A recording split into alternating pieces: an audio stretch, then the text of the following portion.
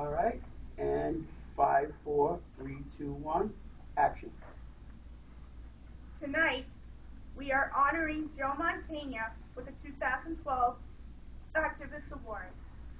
You may know him as David Rossi from the hit show Criminal Minds, or as Joey Zaza from The Godfather 3, or maybe even as Steve Martin in The Rat Pack. I just call him Dad. And I'd like to tell you a little bit about him. When I was two years old, I was diagnosed with autism. My family didn't know much about autism and at first were frightened and unsure of what to do. But being the strong people they are, they got involved in the special needs community and learned everything possible. Since then, my father has dedicated himself to helping autism charities all over the country. He's hosted several golf tournaments, dinners, auctions, many other fundraising events. He spends part of his free time at schools like the Help Group, Performing Arts Studio West, or Inclusion Films, talking to kids like me about filmmaking. Acting and directing are just being a parent. It's always such a thrill for students to have access to someone like him, and he is always so happy to be there.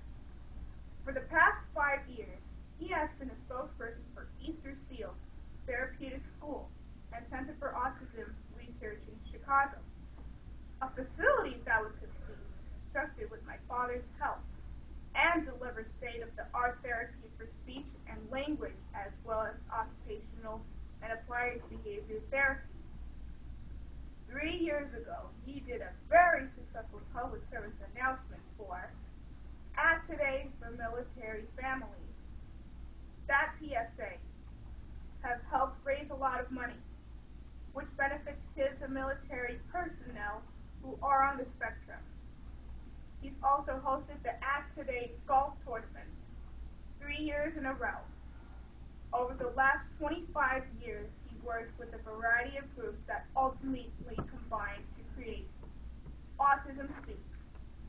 All for one reason, to help raise awareness and someday find the cause and eventually the cure for autism.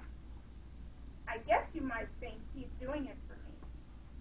But if you knew my dad like I do, you would know he's doing it for every parent who learns their child has autism. I'm sure he would be the first tell you that he doesn't deserve this award alone. My mother, Arlene, has also devoted much of her time, money, and passion to a variety of autism charities and organizations. They do this while working on a TV show, running a successful restaurant, and at the same time raising me and my sister Gia. Where did they get the energy? So on behalf of the autism community, thank you, Dad, for all you have done. I continue to do so that kids with autism from every walk of life can have a voice.